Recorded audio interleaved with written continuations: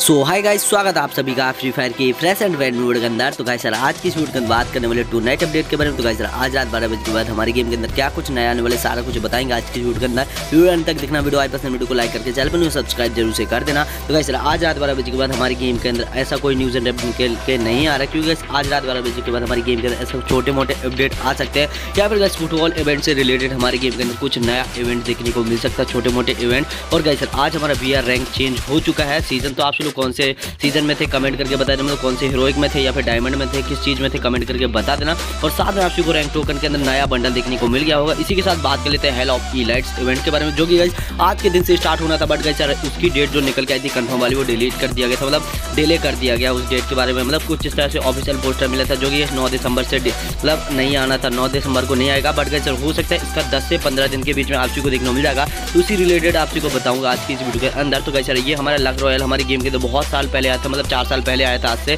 तो कैसे अब हमारी गेम के अंदर आएगा तो पाँच इलाइट पास देखने को मिलेंगे, जो कि इसमें से आप का कौन सा फेवरेट इलाइट पास है कमेंट करके बता देना। और गाई सर इसमें आप को काफ़ी सारे डायमंड लगा सक, लगाने को पड़ सकता है, जिसमें गाई सर आप को एक स्क्रीन पच्चीस की या फिर गाइस पाँच हज़ार की भी हो सकती है। तो बहुत सारे डायमंड लगने वाले और आज रात के टू अपडेट में बस इतना ही था। ज़्यादा कुछ नहीं था गाइस ज़्यादा कुछ होता तो ज़रूर से बता देता हूँ। कम्युनिटी पोस्ट करके बता दूँगा। आज वीडियो बस इतना ही। मिलते हैं अपनी किसी और नई वीडियो में। तब तक बाय बन जैन गाइस